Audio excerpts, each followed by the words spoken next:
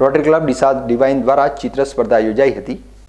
બાળકોની આંતરિક શક્તિ ખીલે અને નવા ક્રિએટિવ આઈડિયા સાથે આનંદ પ્રમોદ કરે અને સાથે કોરોના કાળમાં જે સુષુપ્ત થઈ ગયા છે તેવા બાળકો એક્ટિવ થઈ હરકભેર સ્કૂલ આવી અને ભણી શકે તેવા સંકલ્પ સાથે આ ડ્રોઈંગ કોમ્પિટિશન ઝવેરીનગર પ્રાથમિક શાળામાં યોજાઈ હતી, જેમાં ધોરણ એકથી આઠના બસો ચાર બાળકોએ ભાગ લીધો હતો.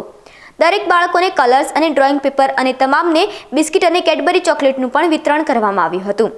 દરેક ધોરણ દીઠ વિદ્યાર્થીઓને પ્રથમ અને દ્વિતીય ઇનામ આપવામાં આવ્યા હતા. આ કાર્યક્રમને સફળ બનાવવા માટે શાળાના આચાર્યશ્રી તથા શિક્ષકો અને શિક્ષિકાઓએ સહયોગ આપ્યો હતો.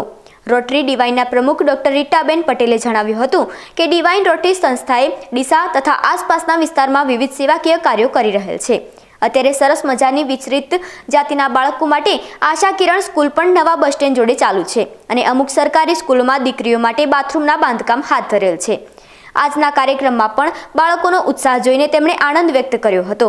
સમગ્ર ઇનામના દાતા અને પ્રોજેક્ટ ચેરમેન તરીકે રોટરેક્ટ ગિરિજાબેન અગ્રવાલ અને કવિતાબેન ઠક્કરે સુંદર આયોજન કર્યું હતું અને રોટરેક્ટ કાંતાબેન પટેલ, ડોક્ટર બિનરબેન માળી, કિંજલબેન ઠક્કર ઉપસ્થિત રહ્યા હતા.